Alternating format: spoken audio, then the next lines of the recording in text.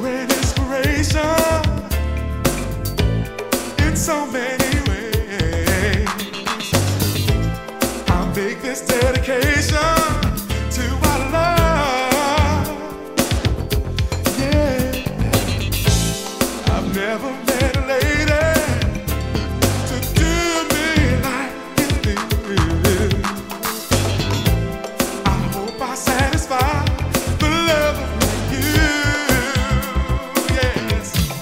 just hit my life.